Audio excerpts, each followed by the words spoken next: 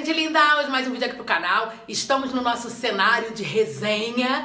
Pois é, estou dentro do boxe, vou lavar a minha cabeça. Quem me acompanha aqui no canal, quem me acompanha nas redes sociais, já viu que tem um tempinho que eu comecei um cronograma capilar. Então eu tô fazendo direitinho segunda, quarta e sexta, né? E final de semana eu aproveito pra testar as novidades e tal, conhecer alguma coisa nova, né? Já faz um tempinho eu mostrei aqui no canal pra vocês a resenha dessa máscara aqui da Labela Liz, que eu adorei.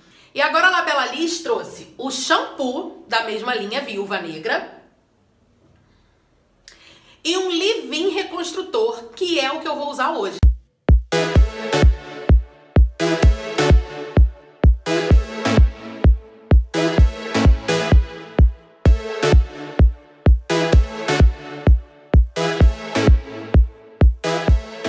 Agora o cabelo já está lavadinho. Gostei muito do shampoo. Tem o mesmo cheirinho de chiclete delicioso da máscara Viúva Negra. E agora eu vou usar o meu Livin.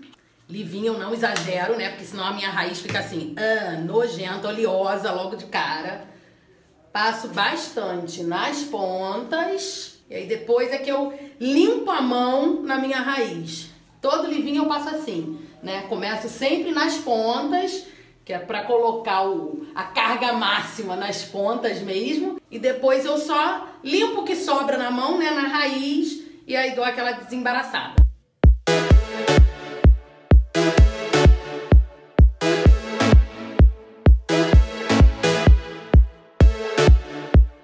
Bem, a linha Viúva Negra ela não é termoativada, ela não precisa usar o secador e não precisa usar a chapinha. Eu queria usar porque eu queria deixar ele lisinho Queria dar uma escovada nessa raiz que estava precisando e eu aproveitei que a linha é uma linha reconstrutora, né? E quis secar ele escovando. Mas você pode deixar secar naturalmente.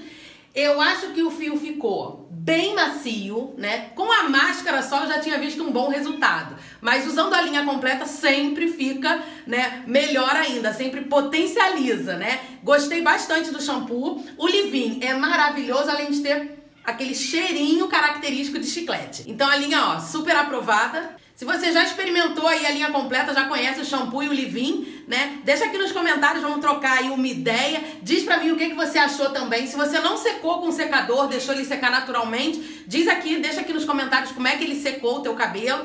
É, eu ainda vou também testar ele e deixar secar naturalmente, né? Porque eu realmente não tenho paciência pra ficar escovando sempre. Quisera eu ter. Não esquece de deixar o joinha aqui no vídeo, se inscreve aqui no canal e continua acompanhando aí nas redes sociais, tá bom? Um super beijo e até o próximo vídeo.